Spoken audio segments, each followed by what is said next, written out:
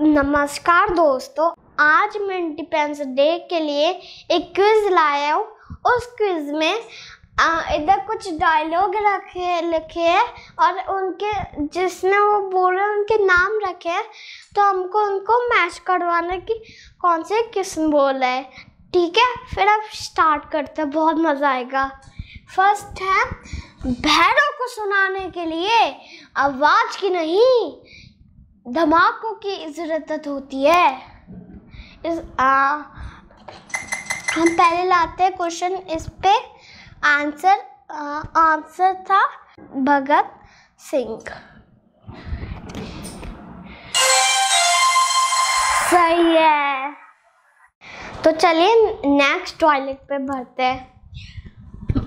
तुम मुझे खून दो। आगे है मैं तुमको आज़ादी दूँगा। आ, सोचो सोचो आपके पास पाँच सेकेंड्स है जो ऐसे करते थे। One tick tick one tick tick two tick tick three tick tick four tick tick five आपने पहचान लिया? हाँ। सुब सुभाष चंद्र बोस ने। बोस ये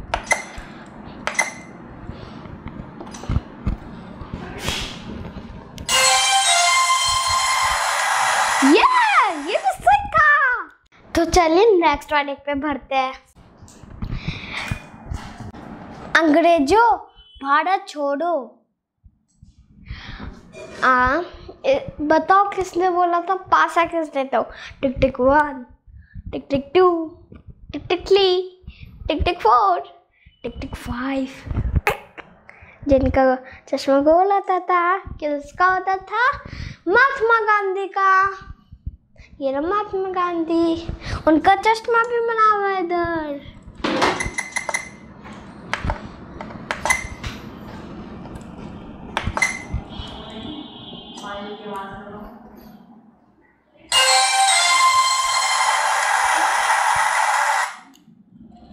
तो चलिए नेक्स्ट वाले पे भरते हैं।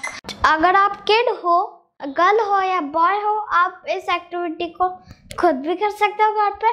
अगर आप फादर हो या मदर हो तो अपने डॉटर और सन से करवा सकते हो। स्वराज मेरा जन्म से अधिकार है। मैं इसको लेके रहूँगा। बताओ बताओ, किसने बोला था? Tick tick one, tick tick two, tick tick three, tick tick four, tick tick five. ये बोला था बाल गंगाधर तिलक ने उनका तिलक भी बना हुआ है। मैं बोल रहा था ऐसे। तो इस पे लाते हैं।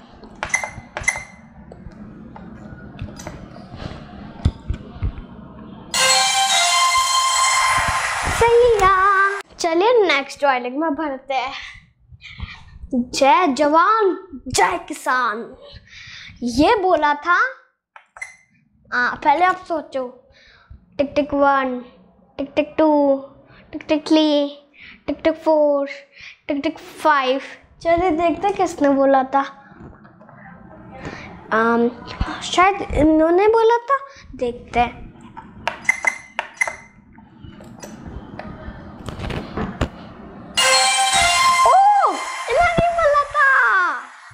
तो चलिए नेक्स्ट डायलॉग में बढ़ते हैं।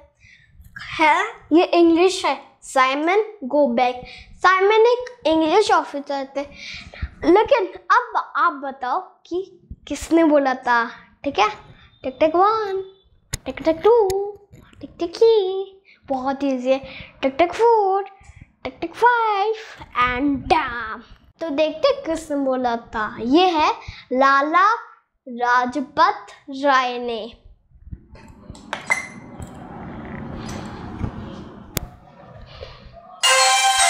यस सही है। अगर आप पेरेंट हो तो आप अपने डॉटर और सन से करवा सकते हो। अगर आप किड हो तो आप खुद से कर सकते हो। Thanks for watching this video bye bye